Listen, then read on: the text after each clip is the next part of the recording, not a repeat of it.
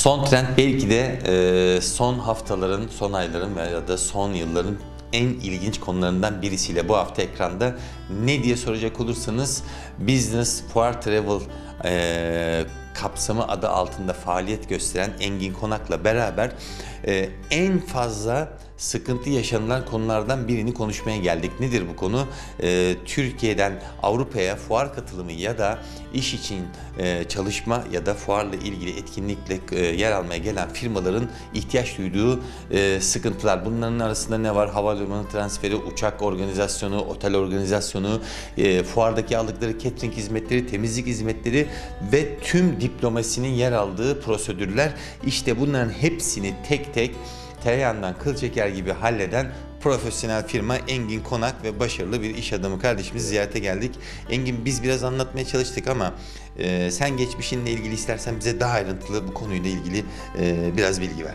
Geçmişimizde 8 yıldan beri e, fuarlara faaliyetimiz var. Bütün e, organize işlerini takip ettik. 2 yıldan beri bunun üzerine çalışma yaptık ve şimdi hizmeti sunuyoruz. Örneğin dediğimiz gibi gelmek isteyen kişiler için plan yapıyoruz. Stand kurmak veya ziyaretçi olanların planlarını kuruyoruz. Bürokrasi, diplomasi organizasyonunu yapıyoruz. Uçak biletinden alıyoruz. Hotel, shuttle service her şeyi yapıyoruz. Yani ziyaretçi uçağa bindiği an buradan karşılayacak kişi havalimanına gidiyor direkt. Bekliyorlar. Şimdi çok ilginç e, sıkıntı çekilen konular var. Bunlardan bir tanesi senin geçmiş tecrübelerinden de bana anlattığın gibi buraya e, fuar katılımı sağlayan bir firmanın fuar standında e, her şeyi kurup ama ufacık bir detayı Evet. çayı unutması. Aynen öyle. O çayla ilgili de e, fuar alanında alacak yer olmadığı için çay konusunda bile ne kadar önemli bir Oldu. eksik olduğunu fark edip Evet, sana 500 bununla bir çay ilgili talep etmesiyle başlayan bir konu. Bugün bu konularla ilgili özellikle hangi bölgelerde hizmet veriyorsun? Şu an Essen Fuarı, Düsseldorf, Köln ve Frankfurt. Bu Dört- bölgelerde. Dört bölgede. Evet. Ee, peki burada yılda ortalama kaç fuar organizasyonu var? Burada Almanya çapında komple 210 üzerinde fuar oluyor. E, Her sektörde fuarlar oluyor. Büyük ve küçük. Yurt dışından gelenler oluyor, yurt içi. Türk katılımcılarında bulunan bu Tabii, tabii, tabii, 210'da tabii. da var mı? Çok, çok. Ağırlık Türkiye'den zaten. Çin ve Türkiye. Önde Peki e, Esen bölgesinde en e, fazla ses getiren ve en çok ilgi çeken fuarların başında hangi fuarlar yer alıyor? Türkiye'nin katıldığı lastik fuarı, sanayi lastikler, otomobil için lastikler ve paketleme ambulans fuarı oluyor. Bu çok. İki senede bir oluyor ama çok kalabalık oluyor ve güvenlik fuarı. Orada da çok ağırlık Türk şirketleri var. Türkiye'den gelen. Fuara katılacak olan firmalar nelere dikkat etmeli? Türkiye'den gelirken burada şimdi tabii çeşitli prosedürler var. Bunların içerisinde bürokrasi de var. Ee, fuarındaki alanı kurduktan sonra bunu terk ederken orada çöp bırakılmıyor. Ee, gelen eşyaları nakliye geri göndermek büyük büyük bir sorun. Ee, catering hizmetini orada profesyonelce sağlamak büyük bir sorun. Ee, dört gün sürüyor en, en kısa fuar. Bunlarla ilgili Türk firmalar nasıl çözüm ortaklarıyla ilgili neler yapıyorlar ya da burada bu işler tamamen bir amatör düzeyde mi gidiyor? Sen neleri tespit ettin? Nelerde daha etkili bir e, önerilerin var? Bizim tespitimiz, tespitimiz şöyleydi. Gelen ziyaretçiler veya fuarı e, stand kuranlar Türkiye'den geliyorlar buraya. Diyorlar ki nasıl bir stand? Şimdi bilmedikleri için en kötü yeri veriyor burada Almanlar. Maalesef. En kötü yeri veriyorlar. Adam geliyor tamam fuarı kuruyor. Çok para harcanıyor ama bakıyor ki en arka sıradayım. Ama biz ona dikkat ediyoruz. En iyi yerlerden almaya çalışıyoruz yerimizi. Bu çok önemli bir kriter. Ee, ben geçen Köln'deki mobilya fuarında bizim Türk e, üretici firmaların aynı konudan şikayet ettiğini birebir şahit oldum. Ee, verilen alanlarla ilgili ziyaretçilerin aktif olarak onları fark etmediğini ve bekledikleri ziyaretçilerle karşılaşamadıklarını söylediler.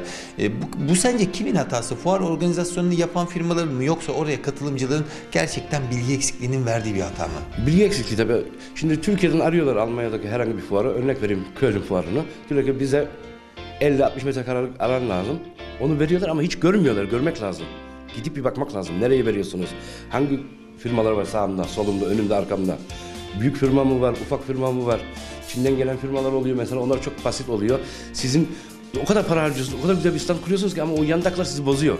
Bu hataların etkenlerinde ne var? Dil eksikliği ve bölgeyi Tabii. bilmeme eksikliği mi yer Bizim yanımızda çalışan elemanların örnek vereyim. Almancası kuvvetli, Türkçesi kuvvetli, İngilizce ve diğer diller de var. Arapçadan tutun, İspanyolca her konuda. Yani ziyaretçi hangi dilde gelebilirse hemen hemen her şey mevcut bizde. Karşılayabiliyoruz. Süper. O zaman bir firmanın e, Essen bölgesi, Frankfurt, Düsseldorf ve Köln bölgesinde bir fuara katılacak olan herhangi bir sektörden bir firmanın sana ulaşması durumunda sen bu firmaların gidip yerlerini onların istediklerinin haricinde daha iyi yerlerde almaya mı çabalıyorsun ya Tabii. da böyle bir hizmet vermeyi mi Evet. e, amaçlıyorsun? Biz istiyoruz ki katılan kişi memnun gitsin. Buraya herkes ticaret için geliyor. Ticaretinde başarılı olsun. Sonuç ne? Kişi geldiği zaman bize güvenip bizi e, hizmetimizi istediği zaman bizim görevimiz gelen kişinin standı öyle bir yerde olsun ki harcadığı masraf ve beklentileri yerine gelsin. Yüzde yüz. Ve gelen ziyaretçiler bu firmayı kesinlikle tanıması lazım.